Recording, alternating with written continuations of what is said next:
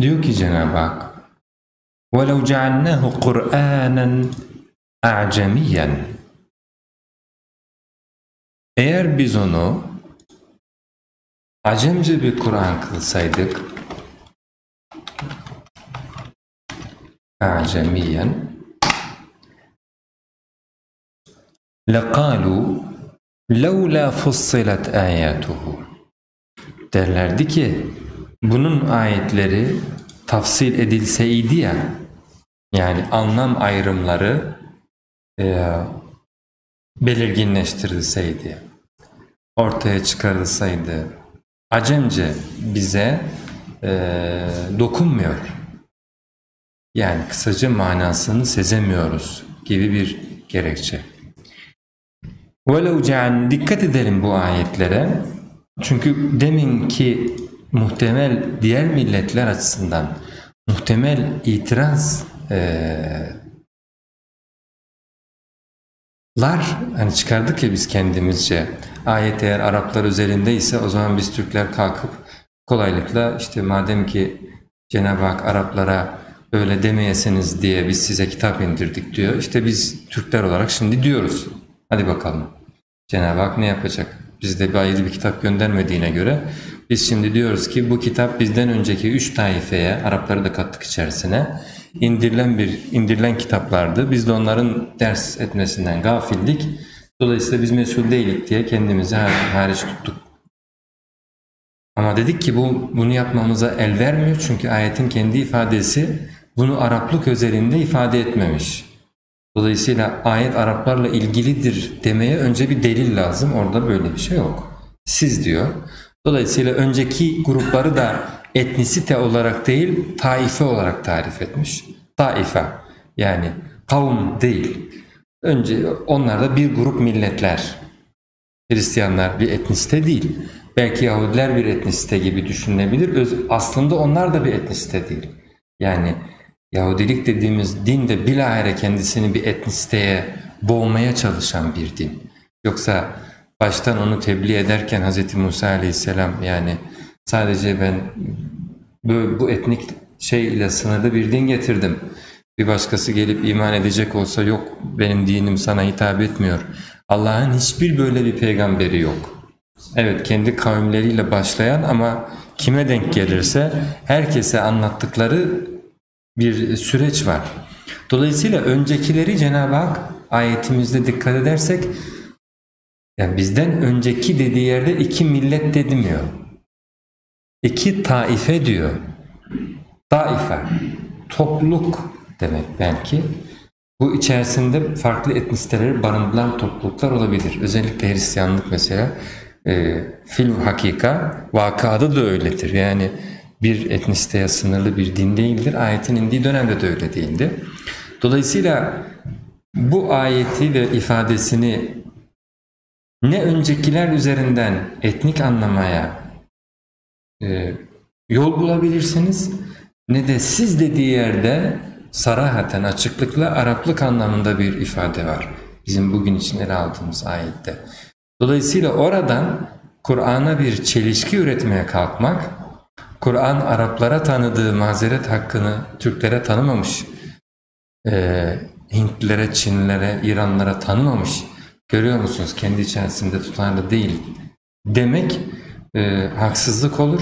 Bir defa ayete e, doğru anlam vermeyerek, ayetin anlamını bozarak sonra ayette çelişki ihdas etmeye çalışmak gibi olur.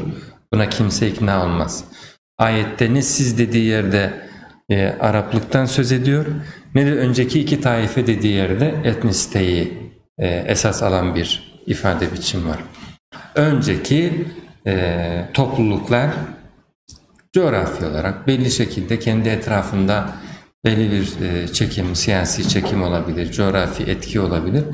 E, topluluklardan öte bir topluluğa Cenab-ı Hak yeni bir bir yine farklı milletlerden oluşan bir topluluğa yeni bir din göndermiş, yeni bir kitap göndermiş. Ve dikkat ederseniz bunu bu kitabı da onlarla sınırlamıyor. Önceki iki toplulukları da içine alacak şekilde sorumluluk yüklemiş. Yani hala Yahudiler ve Hristiyanlar yine bu yeni gelen kitaptan bundan böyle sorumlular. Bu da yani yeni gelen kitap da kendisini hani Araplarla sınırlamış veya sadece Yahudiler ve Hristiyanlar dışındakilerle de sınırlamış değil. Kur'an'ın bu anlamda bir bakış açısı yok zaten. Dolayısıyla böyle bir mazeret, bahane üretip ve Kur'an'ı da kendi içerisinde e, bu ayet üzerinden çelişkili göstermeye e, ayet el vermiyor. Dedikten sonra bir de benzeri bir e, grup ayete bakalım. Bu ayette Araplık ifadesi falan da var. Hatta acemlik de var. Diyor ki Cenab-ı Hak وَلَوْ جَعَلْنَاهُ قُرْآنًا اَعْجَمِيًّا Biz onu acemce bir Kur'an kılsaydık لَقَالُوا لَوْلَا فُصِّلَتْ آيَاتُ Derlerdi ki, yine onlara sözü bırakıyor, ayetleri tafsil edilseydi ya, yani Acemce bir Kur'an. Ee, e, Acemiyun ve Arabi yani Acemce bir şey Arap Araba gider mi? E, biz nasıl bunu e, anlayacağız şeklinde. Onların böyle demelerine ihtimal veriyor Cenab-ı Hak. O zaman e, yine bizim deminki ayette öngördüğümüz mazeret üretme hakkı burada gayet açık bir şekilde. O zaman Araplar Acemce bir Kur'an araba gider mi diye sorabiliyorlarsa o zaman biz acem olarak madem Kur'an Arapça indirilmiş o zaman bize de böyle deme şeyi veriyor Cenab-ı Hak. Biz de deriz ki e, Arapça bir Kur'an acem biz acemiz. Yani, Acı Arapça bir kitap Arap'a gider mi deme hakkını eğer ayet araba tanıyorsa biz ne oluyoruz? Biz de aynı farklı bir millet olarak böyle deme şansımız yok mu? Peki ayet bu sözü onlara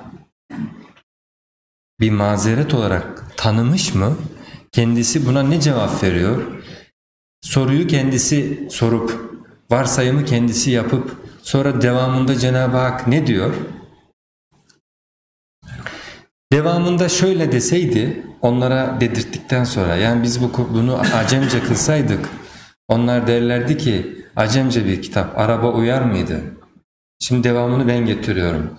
Halbuki biz Arapça indirdik. Dolayısıyla da artık böyle deme şansları yok diye devamını böyle bağlasa o zaman kitabın Arapça olmasının özellikle Arapların bu e, böylesi bir itiraz yapmalarının önünü almak için indirilmiş olduğunu açıkça savunmuş olurdu. Halbuki ayetin devamında Cenab-ı Hak böyle demiyor.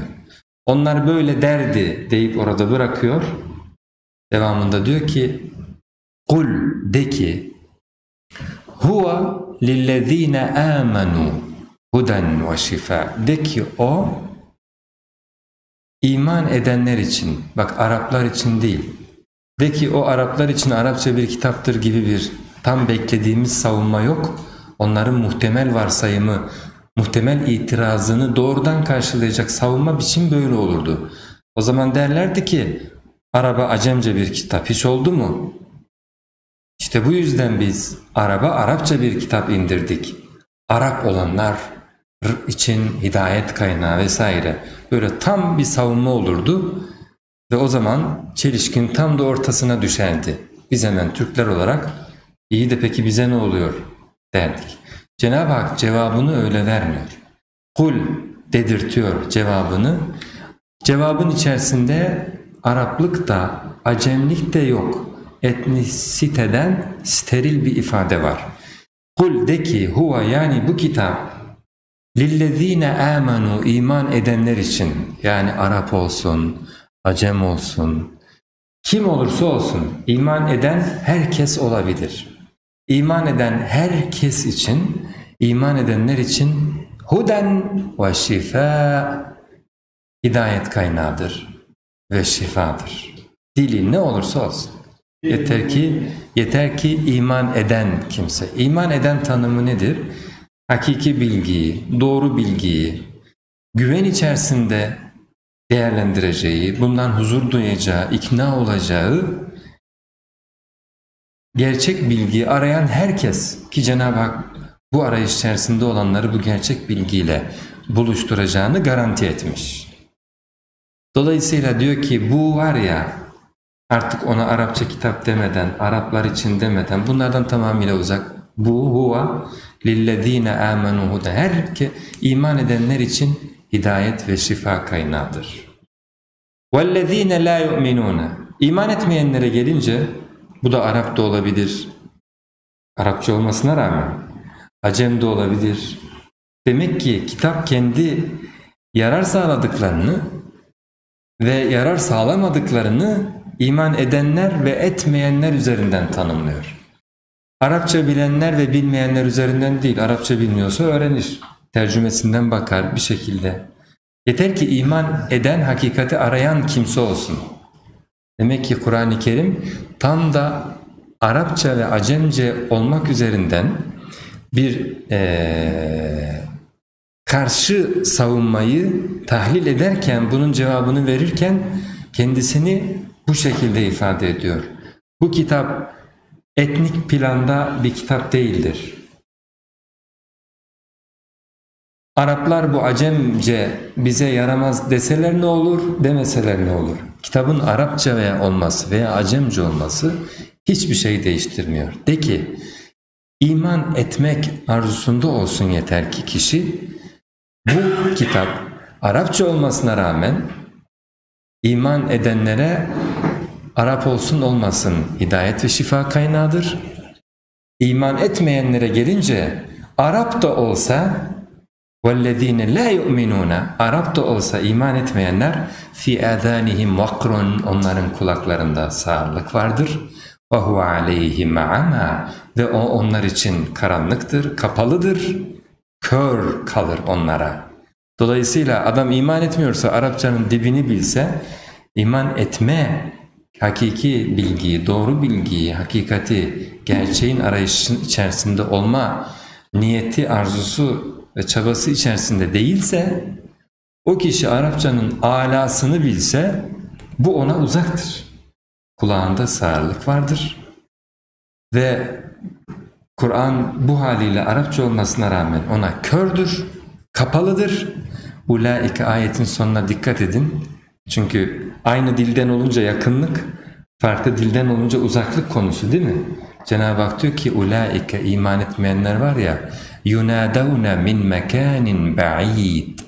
Onlar uzak bir yerden çağrılıyorlar gibi. Yani adam Arapça biliyor, kitap Arapça ama adam iman etme istidadında değil ama kitabın sesi ona o kadar uzaktan geliyor ki.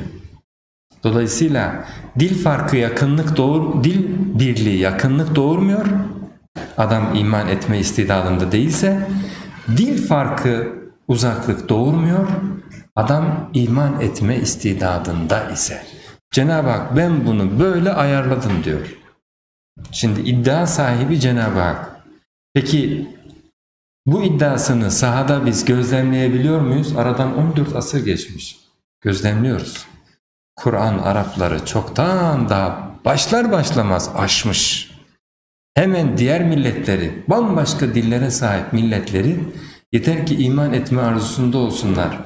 Kaplamış, kuşatmış, iliklerine kadar işlemiş, onlar öyle bir sahiplenmişler ki kendi dinleri olarak bugün ezan-ı Muhammedi'nin semayı semasını yankılandığı, yankıladığı öyle coğrafyalar var ki bambaşka lisanları konuşan onlar o ezanın dilini kendi dillerinden daha yakın biliyor, hissediyor ve seziyorlar. Hani buradan gelen abinin annesi gitmiş ya demiş ya dilleri bizim dilinden aynı demiş. Ezanı Türkçe okuyorlar. Namazı Türkçe kıldırıyorlar. Yani bunları aynı bizimki gibi görünce bunlar bizimkini Türkçe belliyor demek ki yani. Dilleri bizimkiyle aynı. Çünkü biz onu artık kendi dilimiz gibi aşina belliyoruz. Allah Azze ve Celle iman etme istidadında olunca bu farkı bir engel olarak ortaya çıkarmıyor. Onların hemen bunu öğrenmesini, kavramasını ve ilmini yapmasını sağlıyor.